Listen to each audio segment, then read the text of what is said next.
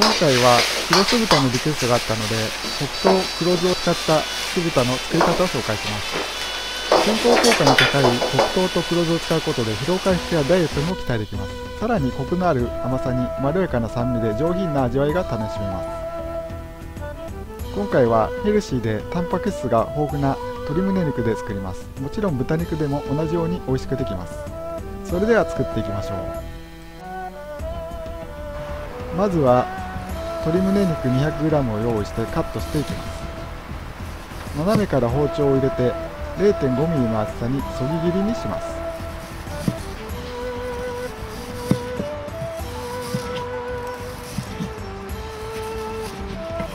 肉を斜めから薄めにカットすることで短時間で火が通り柔らかく仕上がります。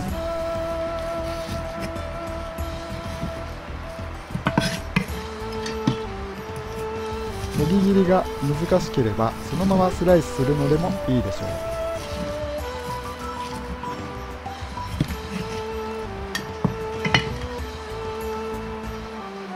鶏肉に下味をつけます。醤油大さじ2と酒大さじ1を入れてよく揉み込みます。そこに水溶き片栗粉を大さじ2から3入れて混ぜ合わせます。その上から片栗粉をまぶしていきます。片栗粉を少量ずつ入れて肉に絡めていき肉の表面がさらっとするくらいまで片栗粉を入れます。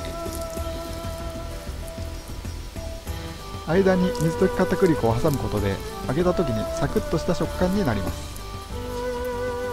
その上から片栗粉で押さえることで肉のうまみや水分をしっかりと閉じ込むことができます。甘酢だれを作ります。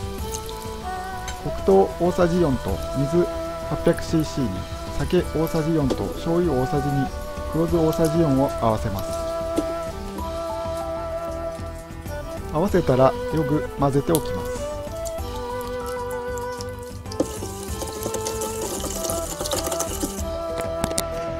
白髪ネギと生姜の千切りを水にさらしておきます。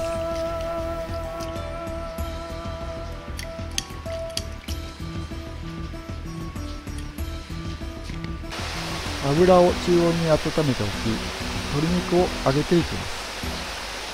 揚げる直前にも片栗粉を薄くつけて軽く肉を握るようにしてから油の中に入れます。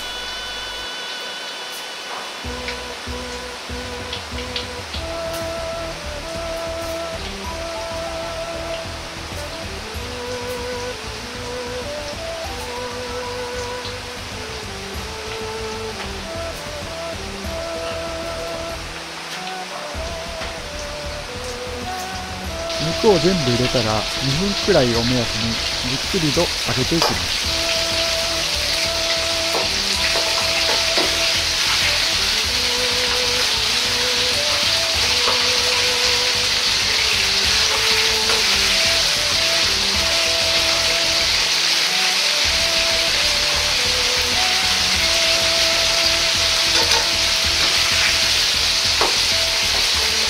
肉が均等に上がるように混ぜながら揚げていきます。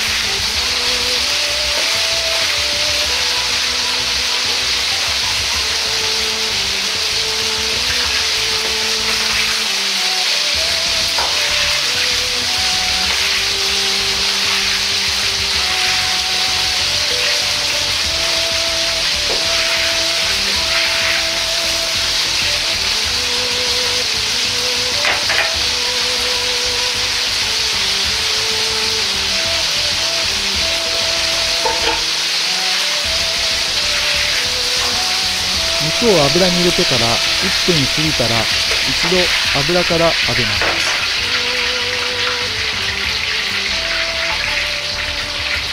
そのまま数秒空気に触れさせてから再度油に戻し二度揚げします。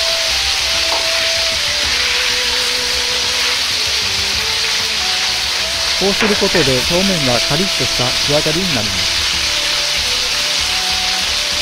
この時火力は強火にしています。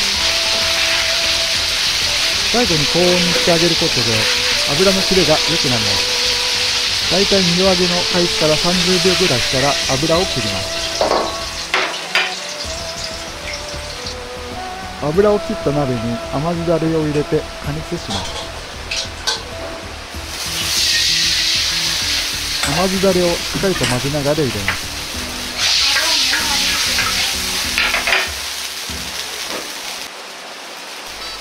甘酢だれを沸かして水溶き片栗粉を大さじ1を2回に分けて入れます慣れていない方は火を止めてから水溶き片栗粉を入れるといいですとろみがついたら揚げた肉を入れてタレと合わせます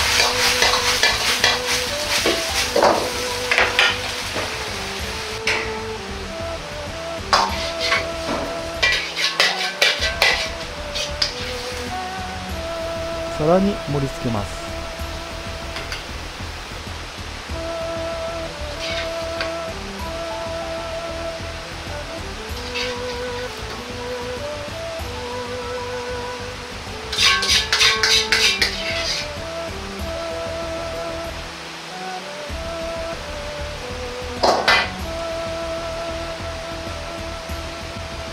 生姜と白髪ネギを乗せて完成です。